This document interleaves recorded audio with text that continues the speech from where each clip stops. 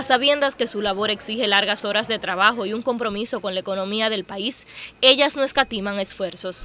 Agradecen valores, conocimientos y la rectitud del carácter. Siempre nos ha caracterizado por ser muy responsables, muy exigentes, pero además muy abnegada. El banco para mí ha sido una escuela grandísima, eh, sobre todo profesionalmente.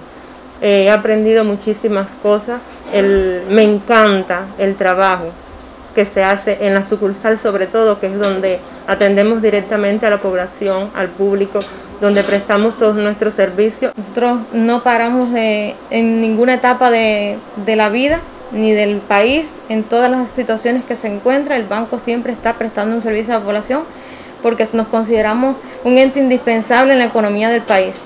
Las experiencias reveladas en un reciente encuentro de mujeres dirigentes del Banco Popular de Ahorro en Granma, más allá de confesiones profesionales, devino espacio de empoderamiento femenino. La cita forma parte de la jornada por el Día del Trabajador Bancario en la provincia.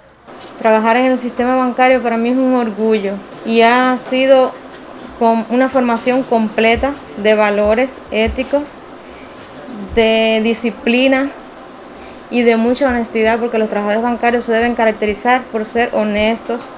En ellas florecen también las más lindas cualidades humanas que legara el Che, quien fuera primer presidente del Banco Popular de Cuba. De forma general el trabajo del banco eh, necesita eh, abnegación, mucha responsabilidad y realmente nos sentimos muy identificadas eh, desde este punto de vista con, con el Che porque eh, seguimos sus ideales y bueno, aquí estamos. El altruismo, que tenemos que poner por delante los intereses de nuestros clientes, que son nuestra razón de ser, antes de los nuestros propios.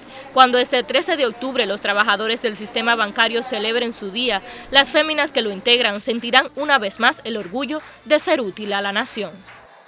Susel Domínguez, Sistema Informativo de la Televisión Cubana.